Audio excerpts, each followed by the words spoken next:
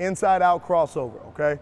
Another effective move in the game of basketball, all right? We showed you guys how to do the inside out, all right? Now to cross that ball over, there's some different principles on it, all right? There's a transition inside out where you actually might do the full inside out first, then go to a crossover, okay? Usually what we teach is a half court version of that move, all right? What that means is you're not gonna step this way anymore if you're doing an inside out cross. You're gonna step with the same foot that the ball's in.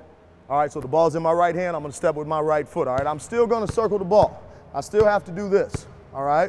So when I come off that circle, it's gonna push my right foot out, all right? So I'm here, the ball's actually going to push me out, all right? Now, what we always like to tell players is look around the building, all right? Because we really wanna overemphasize your shoulders, all right? People follow your shoulders, remember that. So if I'm here, I wanna really get here, okay? Another way that we explain it is get your stomach on your thigh, all right? The last way we explain it is commit to the move, all right? You can't do a move sorta. It's not gonna work, all right? You gotta fully commit to every move. So that means look around that building. That means get your stomach on your thigh.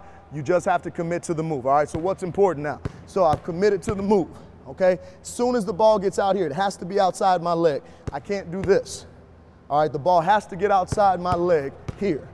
Okay, now I bring it back through on a cross, and then I get through the move ball body defender, all right? So what that means is I'm here, get it out, cross, push it. On that crossover, remember, you gotta hold on to the ball over 50% of the way, all right? So what that means is I'm gonna be here, hold on to that ball on that crossover all the way over, all right? Shoulders low, now I'm going by that defender, attacking downhill, north and south, okay? Remember, east-west step, attack north-south, okay? So I'm here, step, cross, go.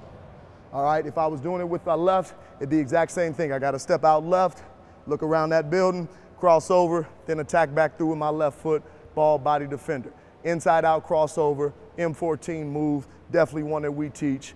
Use it when you're doing this workout number three.